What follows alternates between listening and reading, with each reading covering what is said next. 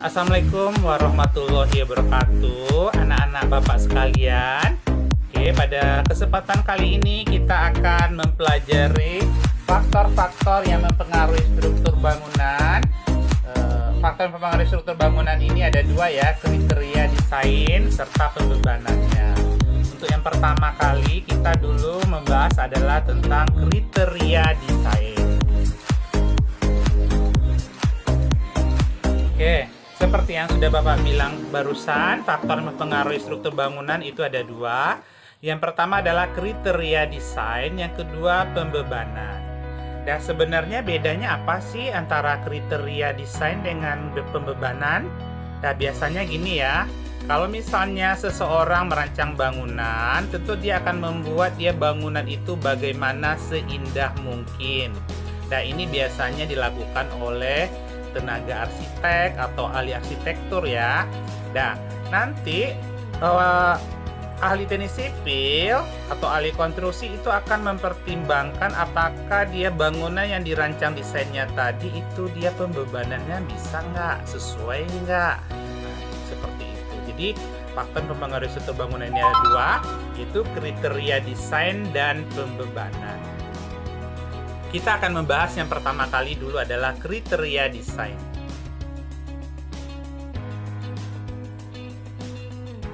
Oke. Nah, faktor mempengaruhi struktur bangunan tadi dibilang desain eh, kriteria desain dan pembebanan. Coba kamu perlihat eh, kamu lihat itu gambar di sebelah kanan. Nah, pada gambar ini coba lihat ini ada sebuah gedung. Coba lihat pada bagian bawahnya itu dia eh, struktur pada bagian bawahnya itu dia bertumpu di tengah. Nah, kita akan bertanya-tanya di dalam hati, apakah gedung yang bertumpu dengan eh, struktur di bawahnya seperti itu akan bisa bertahan aman nggak? Nah, jadi seperti itu ya. Itu namanya kita sudah merancangnya seperti ini. Jadi gedung ini nampak unik ya. Jadi membuat orang menjadi kepo, menjadi ingin tahu. Mungkin kalau kalian mungkin pengen selfie-selfie mungkin di gedung ini ya. Akan tetapi dalam kriteria pembebanan udah masuk nggak? Kalau nanti ada ter- terjadi kejadian sesuatu misal kayak gempa udah diperhitungkan nggak terhadap gempa dan sebagainya. Nah, otomatis itu kita sudah mengetahui bagaimana perbedaan antara faktor pengaruh struktur bangunan ini dari segi desain dan pembebanan. Nah, berikutnya ini ada lagi dia bangunan ini coba lihat di situ bangunannya dibuatnya bertumpuk-tumpuk yang tidak simetris sama sekali, tidak beraturan sama sekali. Nah, jadi otomatis desain ini kan unik jadinya. Jadi kita jadi bertanya-tanya, eh bagus sekali ya yang mendesain eh, bentuk gedung seperti ini atau bentuk bangunan seperti ini. Tapi dalam segi pembebanan aman nggak? Nah, jadi tetap kedua itu harus kita perhatikan dari segi desain atau kriteria desain dan pembebanan. Oke, kita akan membahas yang pertama dulu adalah dalam kriteria desain. Nah, untuk kriteria desain ini dia bergantung yang pertama kali adalah kemampuan layan, ya. Kemampuan layan atau bahasa Inggrisnya adalah serviceability. Nah, kemampuan layan ini adalah struktur diharapkan mampu memikul beban yang dirancang secara aman tanpa kelebihan tegangan. Jadi eh, masih dalam batas deformasi yang diizinkan. Deformasi itu adalah maksudnya adalah perubahan bentuk ya. Nah, jadi kalau misalnya ada suatu bangunan misalnya kotak atau dia berubah bentuk, dia menjadi melendut seperti itu. Nah, jadi otomatis itu sudah terjadi deformasi atau perubahan gitu. Nah, jadi untuk kemampuan layan atau serviceability ini itu dia bergantung dia pada tiga hal. Kriteria yang pertama adalah kekuatan. Jadi kekuatan ini dia bagaimana cara kita memilih dimensi yang tepat, ukur yang tepat dari bentuk elemen struktur.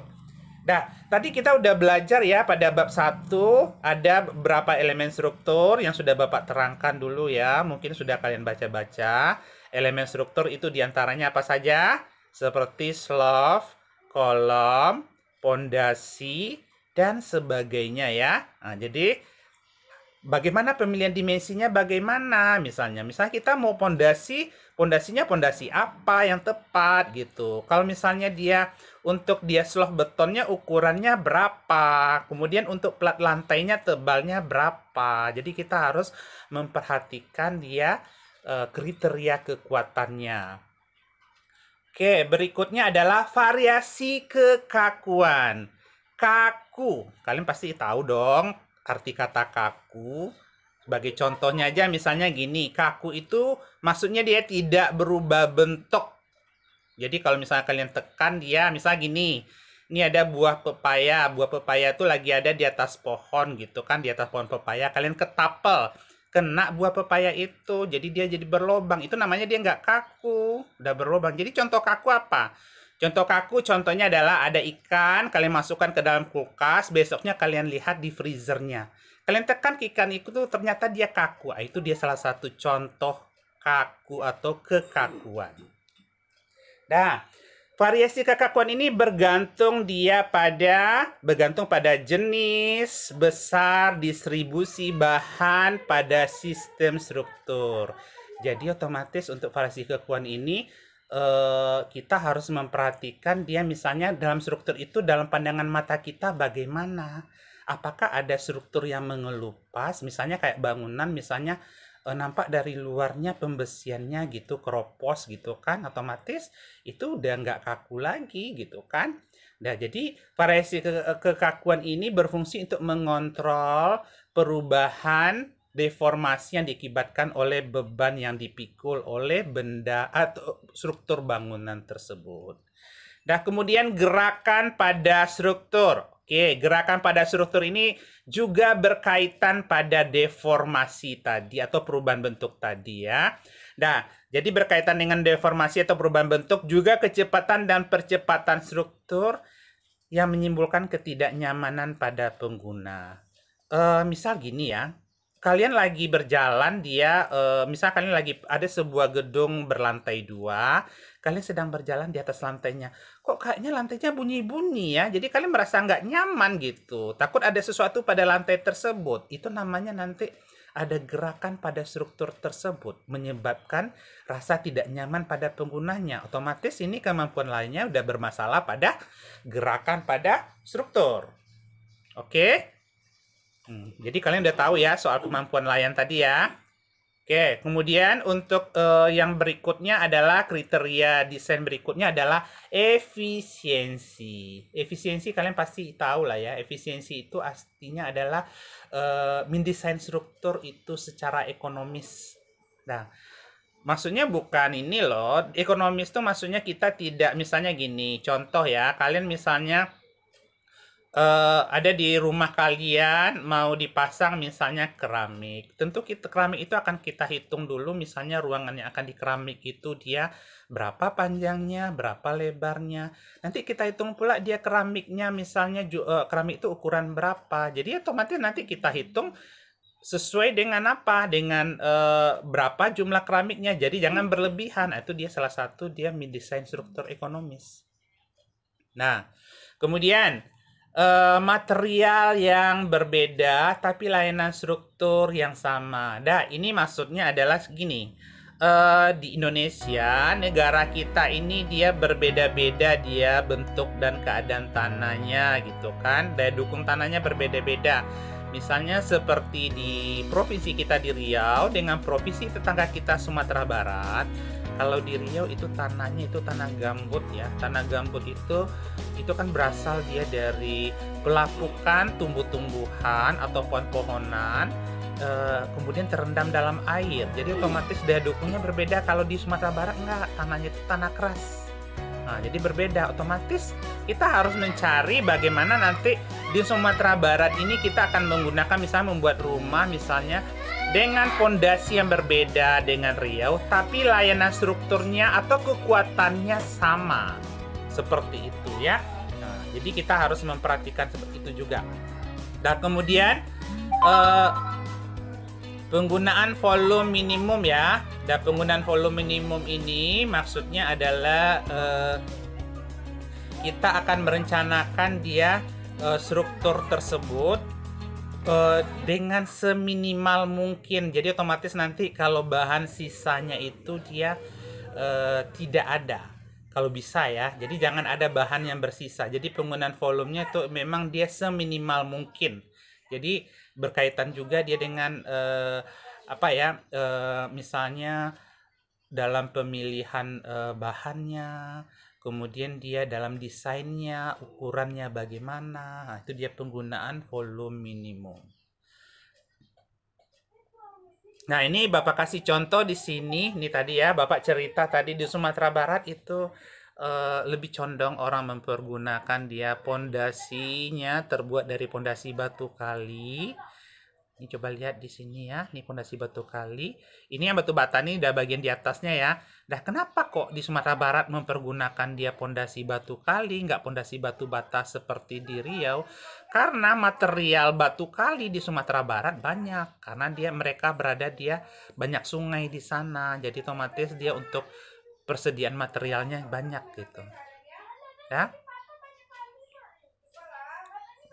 Nah, kalau di Riau kita pondasinya adalah pondasi batu bata. Nah, pondasi batu bata ini salah satu karena tadi kita material batu kalinya kan ibaratnya bolehkah kita menggunakan material batu kali di Riau? Boleh, tapi tidak efisien karena nanti ongkos transportasinya lagi dan sebagainya kan. Jadi lebih baik kita menggunakan pondasi batu bata.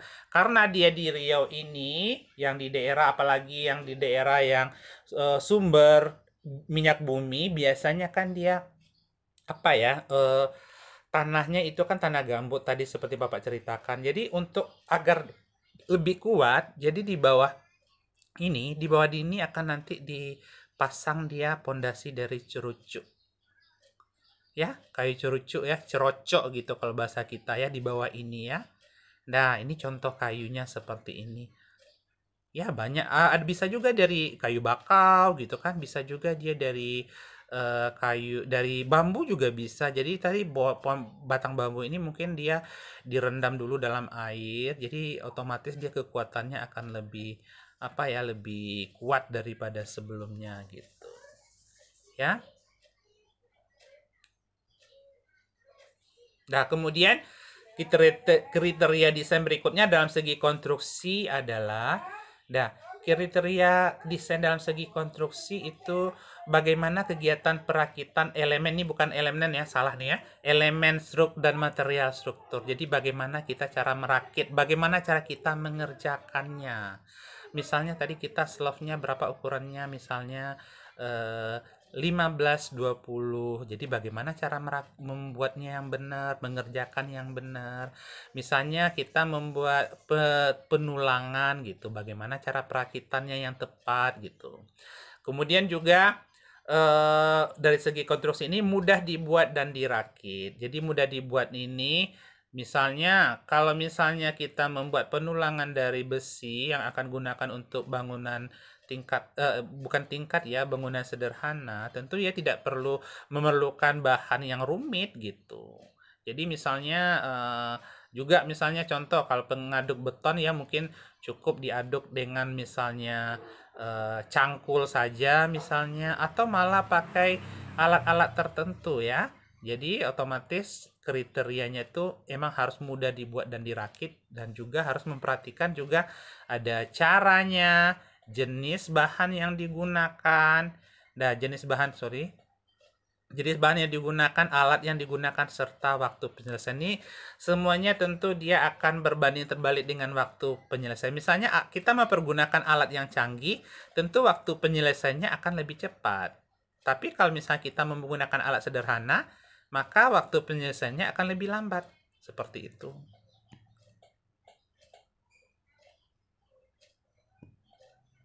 Nah, kemudian dari segi berikutnya, kriteria berikutnya adalah ekonomis. Bagaimana kita kegiatan pemilihan struktur tadi, kemudian konsep harganya berkaitan dengan efisiensi bahan dan kemudahan pelaksanaan.